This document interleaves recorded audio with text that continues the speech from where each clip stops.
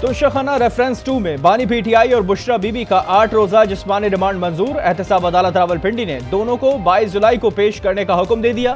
मुलजमान के वकला की इस्तदा पर रिमांड में दो रोज की तोसी की गई।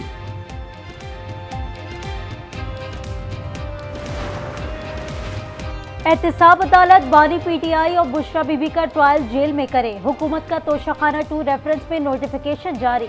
कहा अमन अमान की सूरत हाल के पेश नज़र ट्रायल जेल में किया जाए। पेंसिल्वेनिया में डोनाल्ड ट्रंप कातलाना हमले में बाल बाल बच गए। गोली कान को जख्मी करते हुए गुजर गई। फायरिंग से एक हमला आवर मारा गया, दूसरा जख्मी हुआ। एक राहगीर भी फायरिंग की जद में आ गया, दो जख्मी। छत पर मौजूद हमला आवर की फायरिंग करते वक्त की वीडियो और तस्वीर मंजर आम पर आ गई। फायरिंग की आवाज़ से अफरा तफरी फैल गई। कुछ लम्हों बाद स्नैपर्स ने हमला आवर को हला कर दिया।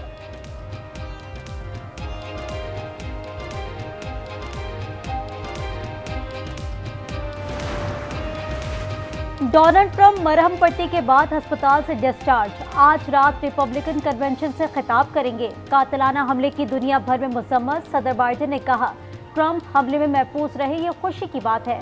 सबक अमरीकी सदूर जॉर्ज बुश, बाराक ओबामा बरतानवी वज़ीर अजम सदर जरदारी और वज़ीर अजम शबाज शरीफ समेत दीगर रहनुमाओं की शदीद मुसम्मत।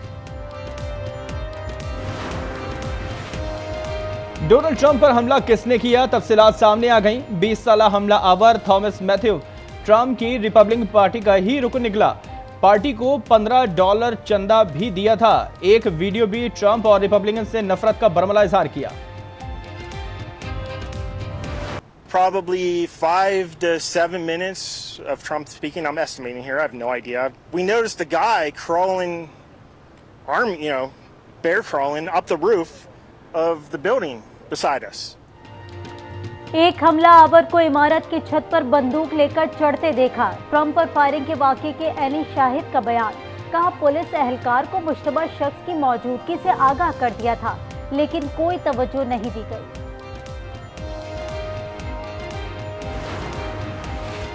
मखसूस नशस्तों के बारे में सुप्रीम कोर्ट का फैसला। हुकूमत का सेनेट और कौमी असम्बली इजलास बुलाने पर गौर अदालती फैसले पर बहस होगी। नून लीग के अरकान को इस्लामाबाद में कयाम की हिदायत। हतमी फैसला कल नवाज़ शरीफ की जेर सदारत मरी में होने वाले इजलास में होगा।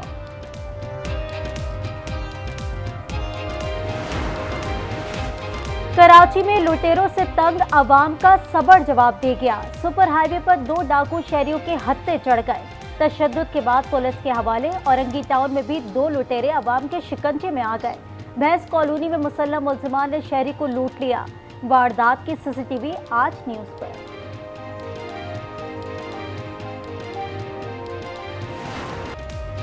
हैदराबाद के तीन नौजवानों को नौकरी का झांसा देकर बर्मा में फरोख्त करने का इंकशाफ। अहल खाना नौजवानों की वतन वापसी के लिए हुकूमत के ताबन के मुंतजर।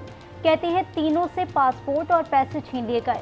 तशद का निशाना बनाया जा रहा है।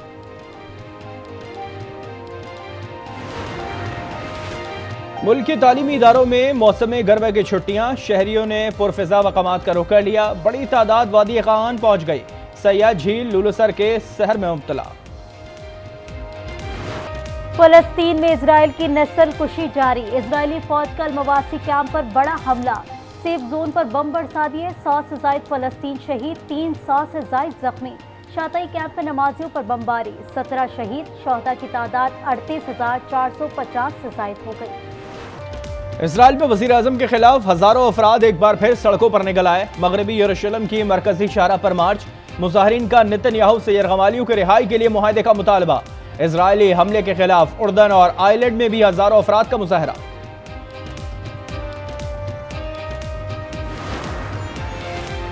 टेस्ट वनडे और टी ट्वेंटी खेलने वाले खिलाड़ी लीग्स नहीं खेलेंगे। पीसीबी ने नई पॉलिसी मुतारिफ करा दी।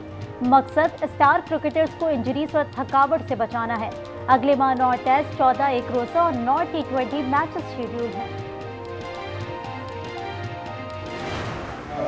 बड़ा होपफुल होगा इंशाल्लाह। अभी मैंने वापस आगे पाकिस्तान में तैयारी शुरू कर दी है पेरिस ओलंपिक्स के लिए। तो उम्मीद है कि इंशाल्लाह अपना बेस्ट करूँगा अगर बेस्ट करता तो